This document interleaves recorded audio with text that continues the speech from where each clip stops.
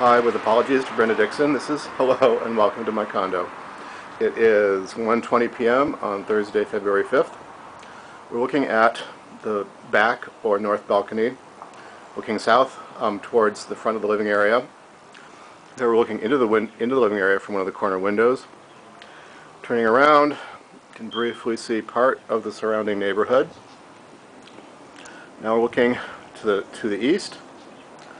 We'll go in to the condo through the door into the bedroom that I use.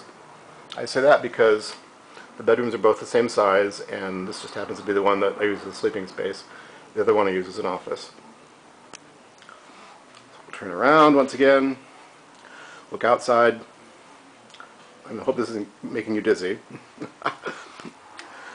look into the master bath with the all glass all the time shower.